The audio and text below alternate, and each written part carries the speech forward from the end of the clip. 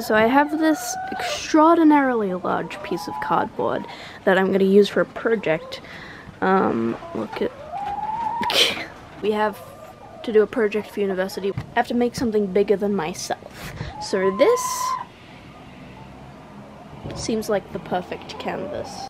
So, yes, um, this is a big piece of cardboard, and I was like, well, I have a lot of time. Not that this took me that long, to be honest. Probably like three hours at most. There was only like an hour of footage um, for this video. Uh, I did do a little bit off camera, but not that much. So, yeah, it's it's a bit deceptively large. It kind of looks like it took ages, but I, but I use mostly like spray paint and um, sharpies and tools that I can just see animals in the background. Um, tools that didn't really take up that much time. Um, but it was a lot of fun. Here I'm just sort of priming it because spray paint, if you spray directly onto cardboard, sometimes it just sort of soaks in and doesn't leave a super vibrant sort of look. So I just use a little bit of pretty watered down acrylic paint. Um, I would maybe have used my gesso, but it's sort of growing life forms in the corner, so I, I just used acrylic paint instead, and that worked alright. That was just sort of just to add some texture and something to work with, because um, spray paint on its own can look a little bit flat. So, yeah. I've got like a sort of box going on, like a room. Um, I so I, I struggled a little bit. So as you can see, I think here I start painting um, with creating sort of accurate lighting because I didn't really have a light source because there's not really one super well there isn't one that you can see in the picture so I kind of I don't know messed around with colors and stuff I think the effect in the end is kind of cool with like the sort of yellow on the top and the purple on the bottom. I've been using yellow, purple, and red spray paint a lot in combination, and I think, I don't know, it's a pretty cool effect. I did run out of white halfway through this project, which was a little bit sad, but I got some more because the hardware store is still open, which is very nice. Um, yeah, I just use like the cheapest spray paint from the hardware store. I think it's meant for like touching up walls and stuff, maybe. Um, I don't really know. Hi, dog. uh, yeah, but I've been doing okay. Um, it is, it's quite nice, even though it's annoying that uni's online, because it's, it's a very physical sort of course where, like, you know, we have our own studio that I showed you in previous videos, and and that kind of thing. It is still fun to have like art assignments to, work on at home because otherwise I think I would just sort of flounder a bit. Although I have been doing a lot of quote unquote productive stuff. Like I've taught myself how to use Cakewalk to produce like electronic music. Um, like Glenn said, I don't know, commented, I think it was my last video maybe. Um, he was like, "Oh, this music really suits the video, blah blah." Um, and I was like, "Yeah, it does. I made it myself, so thank you, Glenn." Um,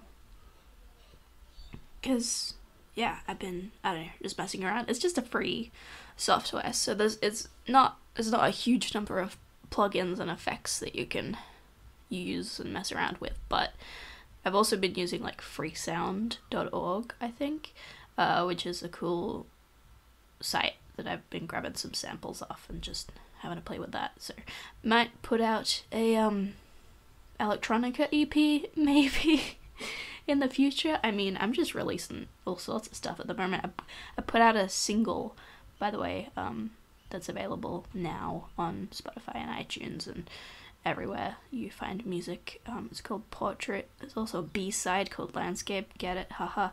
Um, that's just an instrumental with me and my sister um, that's pretty cool. And I'm putting out a music video on Friday. I'm just gonna plug myself for a little bit. Um,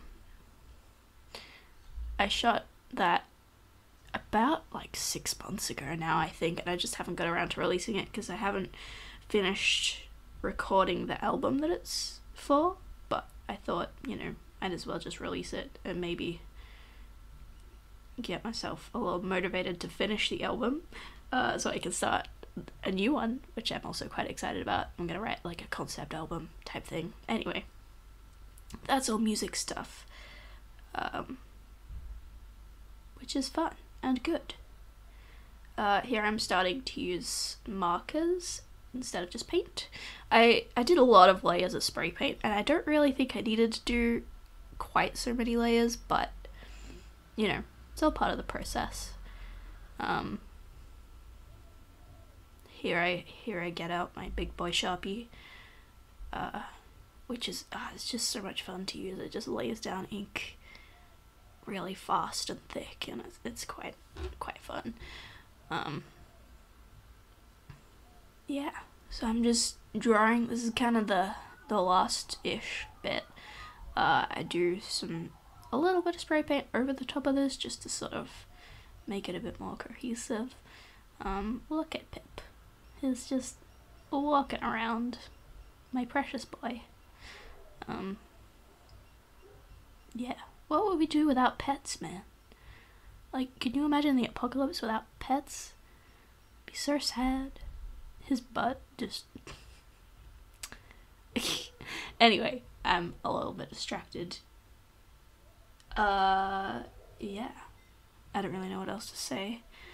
I kind of get to that point in these voiceovers because I have a, a certain amount of time I have to talk for and I don't have a script or anything, so I'm just kind of rambling. But, you know, you can deal with that. If you if you're watching me on YouTube, you probably either A know me in real life and know that this is just how I talk or B, you've been watching me for a while and you know that this is just how I talk. Or C, you've just discovered me and welcome. Uh, and my brain is a fascinating place full of strange and um, uh, unconventional things. and uh, it's a fun time. You should stay.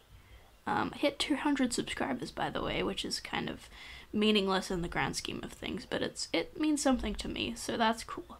Um, thank you for subscribing. yeah, I'm having a good time, you know. Oh, some spray paint.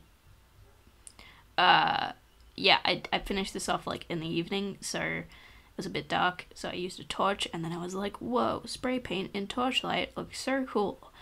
Uh, so that's where my brain's at. I played with shaving cream and food dye the other day, uh, which is how my quarantine's going, so, know, it was very squishy. Here we have the finished product.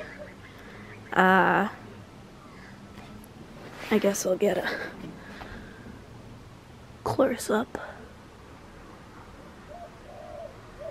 my pen started running out, which was quite annoying, but it was very fun to do, especially the, the bigger lines with the Magnum Sharpie, this beast.